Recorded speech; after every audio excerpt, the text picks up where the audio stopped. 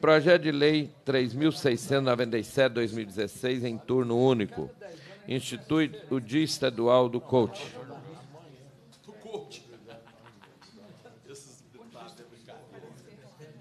Autor, deputado Felipe Etier.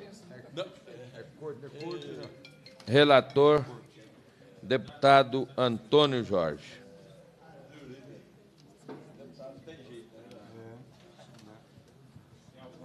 Sessão está suspensa por três minutos.